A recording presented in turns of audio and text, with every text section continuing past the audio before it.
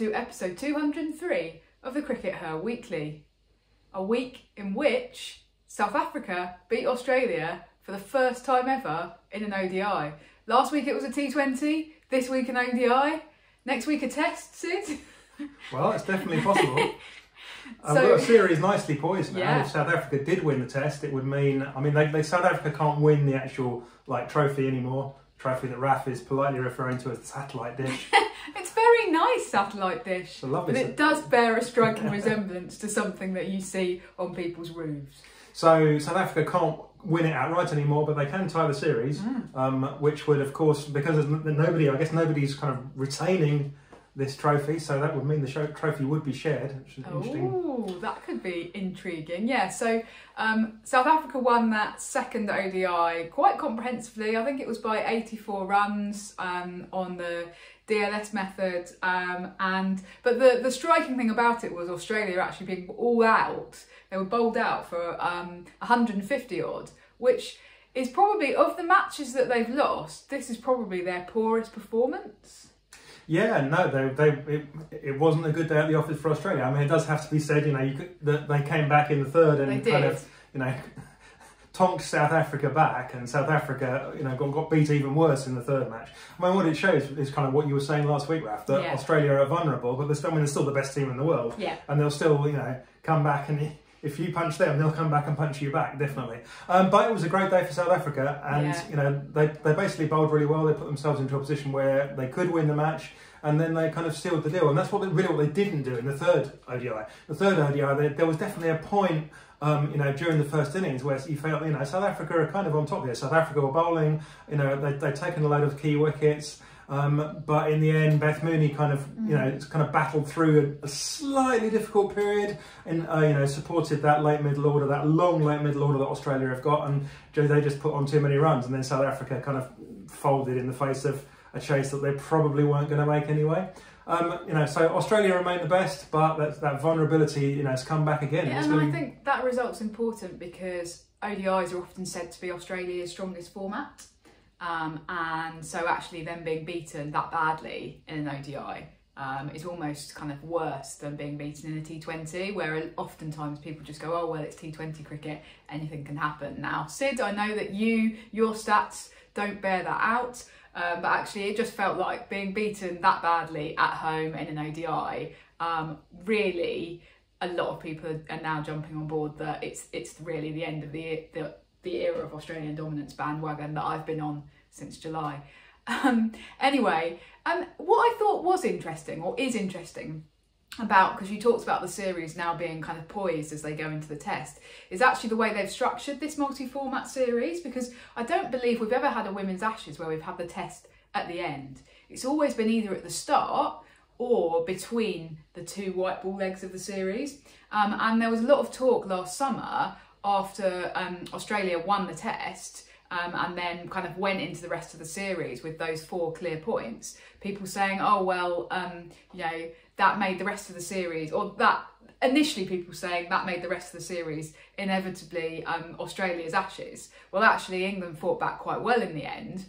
although Australia still retained the ashes. They did, yeah. But people talk about having the. There was talk about people moving, or there was talk about the test being moved to the back end of the Ashes, and so that's kind of what they've done with this South Africa series. I don't know how deliberate it's been, or whether it was about when they could get a test ground available in the Australian summer. Um, but it's an interesting one because we are now going into the test with, as you say, a situation where actually Australia um, are kind of ahead in the series, um, but if they lost this test, then they could end up drawing the series. Will that inevitably encourage negative tactics?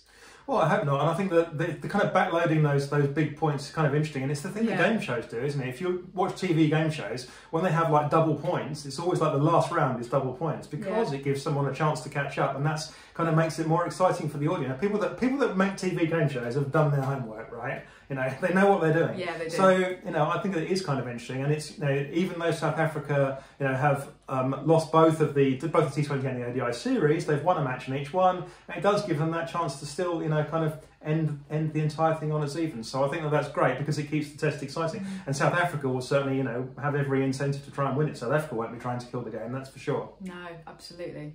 Yeah, so it'll be interesting to see whether that influences the structure of the next Ashes and when they um, when they Yeah. schedule the test for in that. Um, having said that, I do think that um, Australia must be odds-on favourites to win the test. I don't know whether you agree, Sid. Um, purely because it's been kind of 18 months or something since South Africa actually played a test. I think the last one they played was that one against England at Taunton in 2022 when they actually they didn't lose, um, but largely speaking because of rain.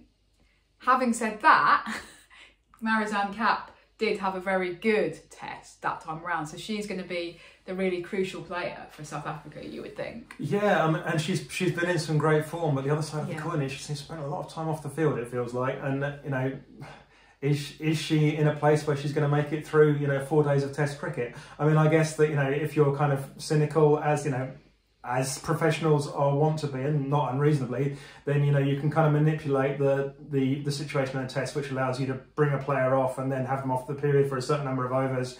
And you know, you as long as you're careful and you keep an eye on what you're doing, then you know you won't wind up with too much of a penalty for that. So they, you know, they can have a bowler spell and then come off for a bit and get a massage and then come back on the field. You know, but you do have to be slightly concerned about, given how much time, she, how many times in the last few weeks we've seen, oh, you know, she's an injury risk. She's she hasn't felt well. She's felt Mhm. tightness here, tightness there. So Well, I that's think, they, key I think they need to be wrapping her in bandages and giving her as many ice baths as it takes in order to get her on the field because I think without her, South Africa's chances um, look much weaker. She's clearly their best player at the moment in all departments. Um, Yeah, definitely. I mean, you know, it's in the same way as England would miss Nat Siver, or Yeah. you know, Australia would miss. Australia have been very dependent in these white ball series on Beth Mooney. Beth Mooney scored an extraordinary amount of runs compared to everyone else, especially as Phoebe Litchfield's had uh, kind of a terrible Yeah. white ball experience Yeah. in this series. A diff- It's almost like the difficult second series. It's not her second series really, but it. she's, yeah, there was all of that little of a hype about her at the beginning of the year. She then won that, was it the ICC award that she won? emerging and then and- now this has happened. But it happens to everybody, doesn't it? Um, you just have to try and roll with the punches in professional cricket. yeah, I guess from Kapp's perspective as well, like this is going to be probably the only chance in her career that she's going to get to play a test at ground that is actually notorious for being friendly for fast bowling. So from her perspective, she'll be absolutely desperate to play. So let's hope that she does. Uh, the test, of course, starting on Thursday. Um, Australia have announced their squad, Sid, um, and it's an interesting one. Um, 14 players, um, so three of those selected won't play. Um, perhaps quite a spin heavy squad, would you say? Yeah, they've selected five spinners in the squad, haven't they? And um, I don't know whether this is because they think they're going to be going in, you know, with with perhaps three spinners. I mean, they've definitely got to go in with two. Um, so I mean, I'm including Ash Gardner here as a as a spinner because she will be, you know, she's basically a full a full proper all rounder. She'll be Yeah. expected to, to bowl potentially a lot of overs. Well, if the- look at the load that she bowled at Trent Bridge. Yeah. Yeah. um, so you know, that, that five spinners going in. You'd think they'd probably leave a couple of them out. Um, but there's a little bit of a, an interesting thing with the fast bowling. I think that's where the, the interesting selections are. We've got um, Darcy Brown, Kim Garth, and Megan Schutt. Um, now, Megan Schutt hasn't played a test since 2019, um, so that's nearly five years she hasn't played a test. She's also actually come out explicitly and said, um, "I'm not. I don't really want to play Test cricket. That's not my bag anymore. It, that goes on a long time, and I get. Um, I think. She, uh, I hope I'm not." She kind of said, oh, "I get a bit bored by it," didn't she? I think. Yes, I think that she did say that. Yeah. So Um, but basically, I no, all of the noises that have come out of her uh, in the last few years suggest that actually she's kind of feels that she's done with Test cricket, um, which is fair enough. It's a it's a tough format. Yeah, but I mean, it's like okay, so they've got their two fast bowlers. You think that pre- presumably both of them will play, but it's just again, it's indicative of their lack of fast bowling resources. Really, I mean, they've got a lot of uh, they've got the all rounders, of course. So they've got um, you know Sutherland uh, and McGrath Roth, and Perry, um, Perry. of course. so you know that, that's a lot of all round options Yeah. who who bowl kind of seam up as well, but. Um, I going beyond that. I mean, it was really interesting to hear Elyse Villani talking on commentary when they were talking about, you know, and they were kind of trying to be positive go, "Oh yeah, we've got great depth in fast bowling Yeah. because we've got Tayla Vlaeminck. She's coming back from injury. And it's like, well, that's your depth, Tayla Yeah. I mean, you know, Who's clearly not going to be fit to kid, play in international she's for perpetually quite a long time. You know, yeah. is she ever? So I mean, I don't think they have that many fast bowling resources, and the fact that they've picked Schutt, I don't. I almost think Schutt won't play. I'm guessing Schutt won't play. Uh, my guess is that Sophie Molyneux won't play. I mean, she's the kind of the other comeback, and a kind of interesting selection that she hasn't played for a while. She did captain the Governor General's eleven in the warm up against South Africa, so it shows she was in the thinking. Yeah, but on the other hand, it totally underlines your point about lack of depth in fast bowling. That actually um, they're kind of looking around, going, "Oh, well, who can we bring into our squad for the test?" We're playing at the WACA, which, as we've just said, is this ground that's meant to be a haven for fast bowling. Oh, Yeah. um, instead, in instead of bringing in um, instead of bringing in Brianna Bowler, um, we're going to bring we're going to recall Sophie Molyneux, a spinner. That's a bit of an odd thing, isn't it? Because you'd think if they had all of these fast bowlers just round the corner who they think are about to come through and burst onto the scene, that that's who they'd be bringing into their squad, and they haven't. So I think that's a bit odd, and actually it is a bit of a contrast with where South Africa are at at the moment. They've got these two young um, fast bowlers who uh, bowled really well in that second ODI. So Marx. Um, whose uh, first name escapes me but will forevermore on the CRICKETher Weekly be known as Carl. Um, and Hlubi is the other one who also bowled really well the other day. Um, of course, they've also got um, their their other um, Yeah, fast Klaas has, bowlers. Klaas has had a really decent tour. Um, you know, she's been moving the ball around, so that's been that's been a big positive for them as well. So they've definitely got those resources that can take potentially take advantage of, Yeah. uh, of a friendly pitch at the WACA. There's been some really interesting other news actually um, that's been announced this week in relation to the future of red ball cricket um, in Australia, Sid. Um, they've actually said that they're going to play an annual um, red ball three day game um, and they, they're terming it the green v the gold. Um, and so they're going to have this as bringing together, I guess, the, the leading state cricketers um, to play this annual three day fixture. Um, so I suppose it's sort of partly as a way of um, kind of prepping them for, for potentially playing Test cricket, but it is also interesting that instead of just saying we're having this fixture, they've actually explicitly said this is going to be something that we do every year. Yeah, I mean, we did have this uh, one that was scheduled last year that ended up sort of sort of happening and sort of not happening because it got it got rained off. It, it, this is the one in England last year. It got rained off, and then they rescheduled it as a one day thing. Okay, so that was the, that yeah that was in But- England the regional Yeah, um, game. um, but we haven't had any, any information about about such a thing happening this year. Okay. Um, so you know, whereas Australia have come out and gone, we are going to do this, Yeah. and we're going to make a thing of it, and we're going to do it next year as well. I mean, I suppose just because they said they're going to do it next year doesn't mean they actually will, but they're kind of trying to make it a thing in the calendar. I think they are, Um, and the the contrast with what's happening in England is actually that this is very much being driven from the top by Cricket Australia, who have obviously got the CEO now in Nick Hockley, who really believes that Test cricket, women's Test cricket, is important, right? And we've we've sung his praises before in relation to this. So they've got this CEO now, um, and so it's kind of being driven from the top, and they're saying, right, how can we prepare our players um, to be playing more Test cricket? Um, whereas in England, that three day match that you talked about that sort of didn't happen because of rain last summer um, was being driven from the bottom by the regions. It wasn't really anything to do with the ECB. And as far as I'm aware, the ECB don't really have any plans. And so it's not been mentioned in relation to Project Darwin, for example. They're not expecting the counties to write red ball fixtures or any kind of red ball prep into these um, tenders for the new teams. So that's that's kind of a little bit of something that the regions were doing on a kind of ad hoc basis. Um, so that's the difference actually. So Australia once again leaping ahead of the rest of the world there, I think, a little bit. Yeah, and the rest of the world needs to take notice because you know they're giving another you know 22 players here the chance to have that that experience. That, Yeah. that you know that Yeah. Red Ball is full three day game as well. The one last year in. England that was scheduled was only scheduled for two days as well. So Well, there you go. So that's another difference. Um, and um, another interesting bit of news this week. This isn't in relation to red ball cricket, um, but it does relate to what we were talking about earlier in terms of um, Australia, South Africa, Sid. Apparently, um, I didn't actually see this, um, but Dane van Niekerk said um, she was interviewed during one of the ODIs, I believe, and she said that she is planning to try to get back into the South Africa team. Did you see that? wow, I didn't see the interview. No, Okay. um, but yeah, so she she wants back. I mean, you hear you hear sports people say it, sometimes that retirement is the hardest thing they've ever had to do. Maybe she's Yeah. finding retirement too hard. She she misses the the excitement. She misses being part of the action. It does seem a bit of an about turn because she did do that lap of honour at the Oval after the 100 last year, and you very much felt like that was her kind of saying goodbye to elite cricket. Um, and the other kind of thing is that um, when all of this uh, stuff kicked off about her being dropped from the South Africa team because of failing that fitness test, she did do some um, some interviews and she was quite critical of Cricket South Africa. So I feel like um, somehow um, she's managed to unburn that bridge, and whether it's come from her or whether actually it's to do with Hilton Moreeng, the coach, who um, has been announced is kind of moving on ahead of the World Cup. Um, has she had a Well, it meeting? has to be said that he's announced that he's, it's been announced that he's been moving on several times before, and Well, he hasn't moved yeah. on. Um, but I mean that that relationship was obviously a difficult one, right? I don't think that we're saying anything at, um, that we're saying anything that hasn't been publicly uh, kind of Yes. accepted.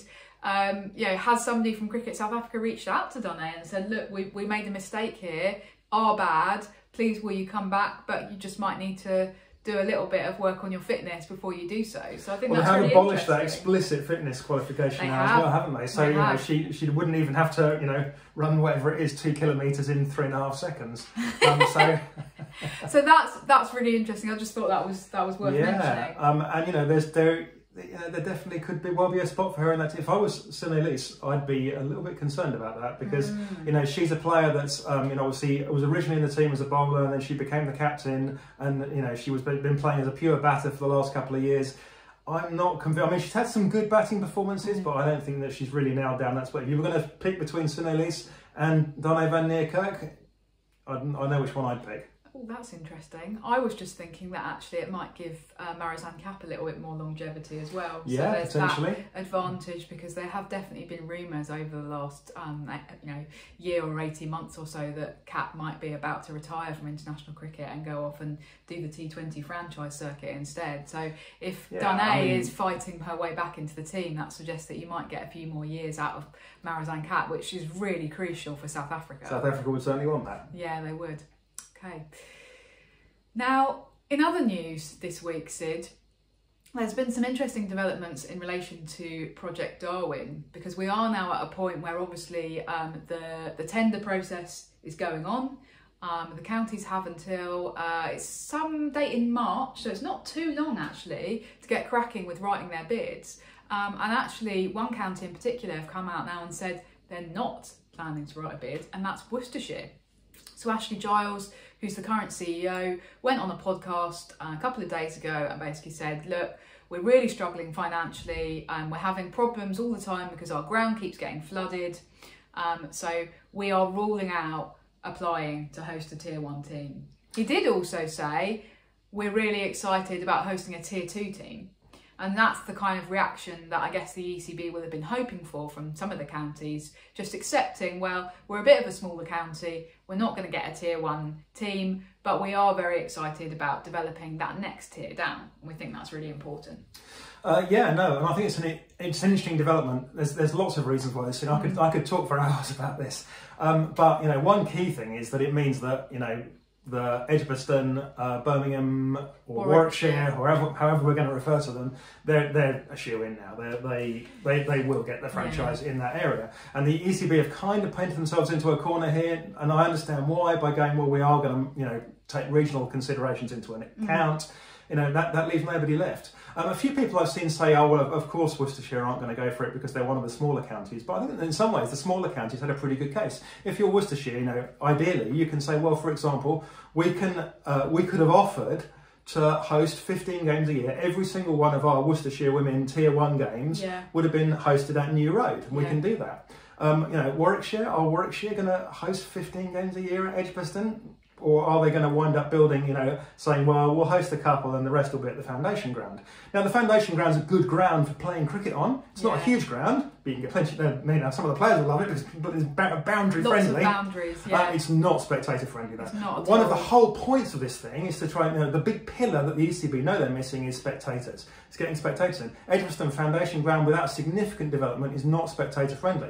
It has one toilet for spectators. That toilet is effectively shared between the, the spectators and some of the players because there's one toilet with an outside door. To get to it, you have to walk kind of past the players in a small gap through the bench. Yeah. You're walking right next to the dressing room doors, so if you're a guy, you have to walk past like this. um, and you know, so I mean that just emphasises everything really. The fact that there's there's not really a proper spectator toilet facilities is everything that it's not spectator friendly, and you're not going to get there's, there's no there's no serious car parking. There's a small car park. hmm, Yeah, I mean we've all been there at Wormsley, but we'd rather not be, right? Uh, there's a small car park which basically is not really big enough for anything more than the players. If if, it, if it's any significant number of spectators, not, there's not going to be no car parking there. It's I mean, only street this park. is all this is all academic, Sid. Because basically, if you're Warwickshire, I'm sorry, but you're going to be laughed out of the kitchen if you are saying that you're going to play your if you're going to that you're going to plonk your women's team to play their But games Warwickshire- the foundation this is- ground. this- this- so this They're going to have to host them at Edgbaston. Well, this was this was what's really interesting though. That um, uh, so there was a great piece by Andy Frombleton in the Cricketer, which you can go and read. It's free to read in the Cricketer on their website, um, pointing out that you know these counties now have got them over a barrel. So Warwickshire have got the ECB over a barrel here. So Warwickshire can just go, yeah, we're going to host them at the foundation ground. What are you going to do about it? Not give you the tier one team. But where, where is it going to go then? There's nowhere else in the West. Midlands for it to go. So are you going to have two teams in the East Midlands in that case? well, of you course could not. do. Okay. I mean, I think that this emphasises that, there's, that there, are, it, there are going to be some challenges in this process. That's you know. Fair enough, Sid. Fair enough. right. Well, um, thank you, everybody. On that bombshell. Thanks for tuning in, everybody. Um, and we're really excited about the WACA tests um, starting on Thursday. And I guess that in next week's episode, we'll be reflecting on that. See you then. Bye.